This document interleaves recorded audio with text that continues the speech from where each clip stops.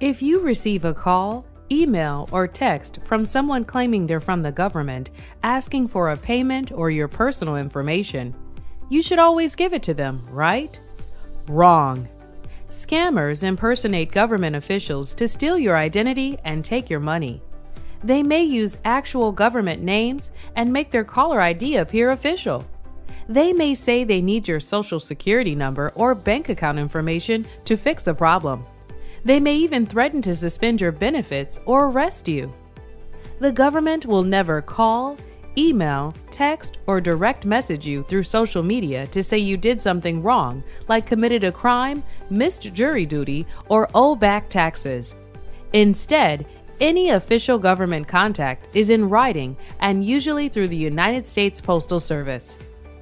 To protect yourself, remember to never share your personal or financial information. Never make a payment to someone you don't know, especially by gift card, mobile payment apps, money transfer, or cryptocurrency. These requests should set off warning signs. When in doubt, check it out. Contact the agency directly. Do not call a number provided by the scammer. Talk to someone you trust before proceeding.